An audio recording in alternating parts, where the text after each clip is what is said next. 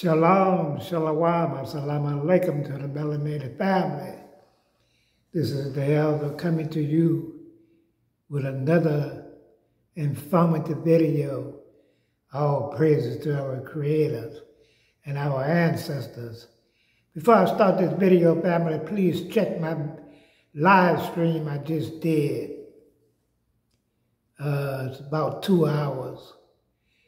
I know a lot of people didn't get their notifications, so check that video out. Make sure you put up the likes and shares. This video gonna be about track star from America, Sha'Carri Richardson.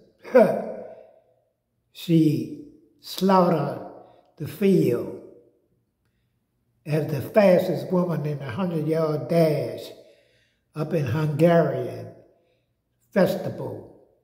She dusted everybody, broke the record. I think it was 10.65, fastest time ever. I mean, she just blew the competition away and she let the haters and let the people that was downing her and saying bad things about her in the last time when she got uh, suspended. But she showed great endurance.